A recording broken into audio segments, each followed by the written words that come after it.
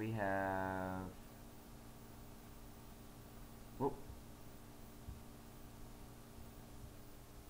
Hmm.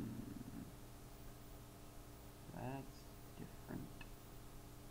Is something wrong? Yeah, you can just ignore this. Okay. I realized my mistake. Took me just a couple seconds. I'm sorry. Uh, earlier I said print score, but score by itself doesn't exist anymore. I have to put the pound symbol at the end of it to indicate that uh, which variable I mean. Score doesn't exist. Score with a pound symbol does. I'm sorry, symbol mistake. Execute.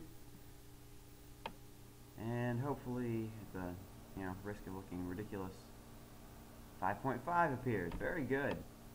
Um, the other type of variable is called a string variable. String is text.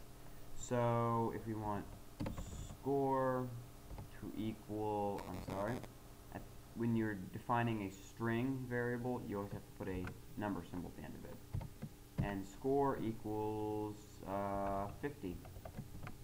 There we go. And we can print score, remembering to put the uh, number symbol at the end, and or I'm sorry, the dollar symbol, execute, and 50. Now, once again, remember, this 50 does nothing with um, numerical values for the most part.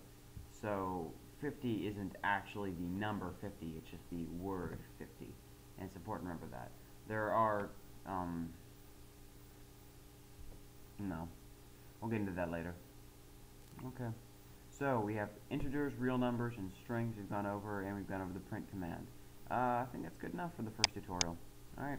Um, next tutorial, probably going to go over different uh, branches, the if statement, um, for next, maybe while, um, and uh, going, so going to go over maybe the screen refreshing, but we'll see, okay? Uh, I hope this was helpful. I know it's a little rough in places, but uh, I'm still learning. Everyone's still learning. So, uh, if you're a beginner, I hope this was in informative. Thank you.